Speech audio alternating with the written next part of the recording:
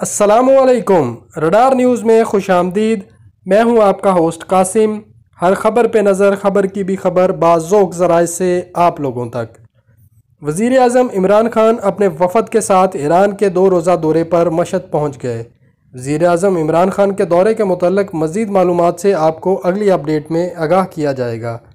अब तक के लिए इतना ही। मज़ीद ख़बरों के लिए हमारे साथ रहें और हमारे चैनल को सब्सक्राइब करें। साथ वाले बेल के आइकन पर भी क्लिक करें ताकि आपको आने वाली हर खबर का नोटिफिकेशन सबसे पहले मिले। Thanks for watching radar news अल्लाह हाफिज़।